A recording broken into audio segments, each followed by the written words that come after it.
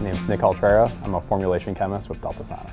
My role as a formulation chemist is to conceptualize, design, and produce trial versions of soaps and detergents that we're going to use in the car wash and outside the car wash. So that involves production, testing, and evaluating results.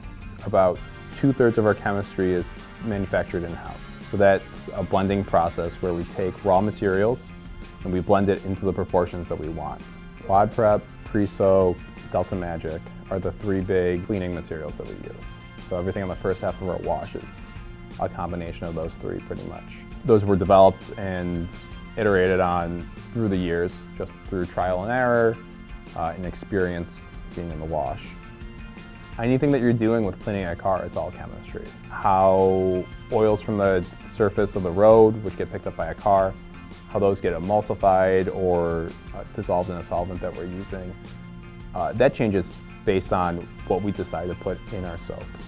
Fall and spring, when you see a lot of rain and that picks up a lot of oil from the roads, you know, we know that we have to target oil. During the summer, we see a lot of bugs and dry organic matter, so we know we have to target organic matter. And so by us knowing that through experience and 55 years of cleaning cars, it gives us a great ability to preemptively change what we need to and have the materials stocked and ready to go.